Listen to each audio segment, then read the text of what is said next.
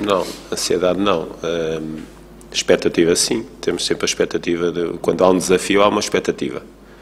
E a expectativa é a expectativa de, de ter sucesso no desafio que vamos enfrentar.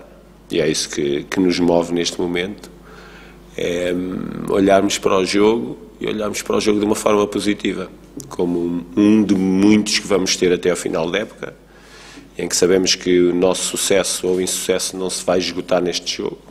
Há de haver vários, vários momentos em que nós hum, vamos, vamos enfrentar desafios e em que e em que vamos ultrapassar de forma positiva, outros, outros momentos nem tanto, mas é dessa forma que olhamos para o jogo. Hum, talvez.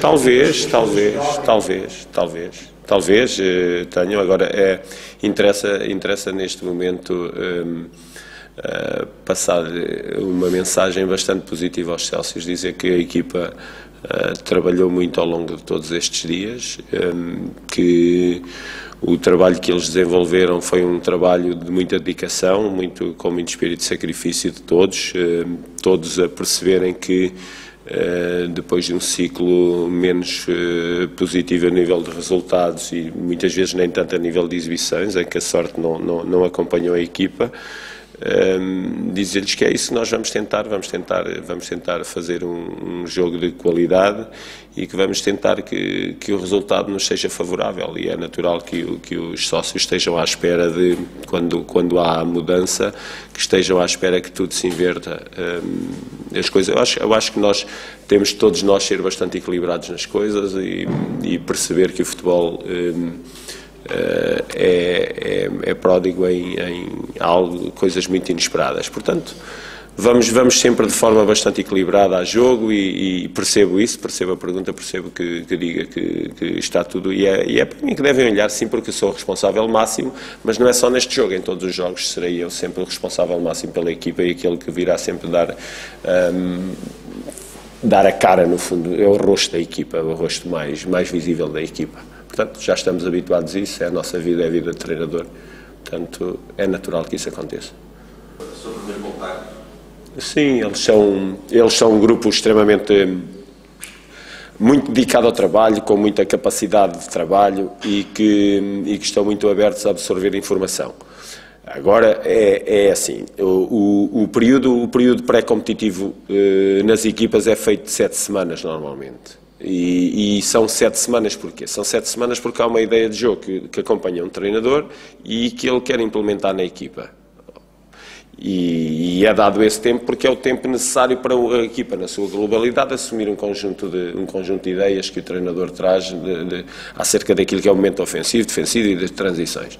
Neste caso, em concreto, eh, trabalhamos eh, ao longo de uma semana e meia e é natural que muitas coisas ainda não estejam limpas na cabeça de todos, mas eh, pelo menos há, há a sensação e há, e há sentimento que todos eles eh, fizeram um esforço enorme para, para absorver as, as ideias que é normal que, que um treinador que chega atrás com ele. Não senti, também não houve, não houve competição e é normal e natural que sem competição não se manifestem sentimentos que se podem manifestar no dia do, da competição. É algo que ainda está por conhecer eh, esse lado. Agora, até agora não, senti sempre muita confiança na, na, na, qualidade que eles têm, eles, eles sentem também muita, muita confiança no grupo e sente-se na forma como eles abordam os exercícios, como eles, eles abordam o dia a dia e hum, é algo que me deixa muito confortável e muito confiante. Não, não, não encontrei uma equipa desconfiada nela, encontrei uma equipa, uma equipa que sabe que muito daquilo que lhe aconteceu também é fruto daquilo que é o azar e a sorte no futebol. Eu acho que eu acho que nós focarmos uma mudança de, de técnico no, no, no jogo que vem é algo muito redutor. Não não, é assim, se eu tenho chegado a um contrato com o clube, com acordo com o clube por um jogo, tudo se esgotava neste jogo. Eu não cheguei a acordo com o clube por um jogo, foi até ao final, portanto, é, colocar tudo, tudo, todo o nosso foco no próximo jogo, acho que é errado da nossa parte. Acho que o, trabalho no futebol é um trabalho continuado, como o vosso trabalho. Não é o trabalho, não é a peça jornalística 2, não é essa que vos vai condicionar para o futuro. Eu acho que é uma soma de trabalhos que, ao longo da vossa vida que faz, que faz vocês bons, maus ou médios, não é? E é como nós treinadores, acho que e os jogadores também sabem isso. Não, não. E, e depois, normalmente chama-se chama estes momentos chicotada psicológica e, e, falamos muito da ideia de jogo e depois chamamos chicotada psicológica. É mais, é mais uma mudança de ideia de jogo uh, do que uh, uh, o lado psicológico. É, é, é é uma dimensão importante a rendimento. Agora, não, é uma dimensão decisiva, mas não é só esse lado. Há, há, uma, há uma, mudança, quando falamos em chicote, é algo, algo que se sente. Uh, agora, há, é uma, há uma mudança de, de, de, de, entendimento daquilo que é o jogo, porque o Nuno pensa de uma forma, eu penso de outra, outros pensam de outra, mas uns anos dá certo à nossa ideia, outros anos não dá certo à nossa ideia, vai ser, vai ser sempre assim. Uh, uh, eh, pela vida fora. Agora, temos claramente uma ideia de jogo que trazemos connosco e que a queremos implementar e que eu acho que vamos ter sucesso com ela. Isso é, é aquilo que eu sinto, é aquilo que eu penso que vai acontecer.